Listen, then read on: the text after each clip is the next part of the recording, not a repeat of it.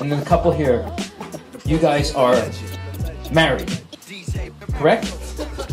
You're not married? Okay, you, are you together? Oh my god! Gold mine. You know what I, I usually ask when people I say, "Would you fuck your boss to get a raise?" But now it's just fucking awkward because he's right there.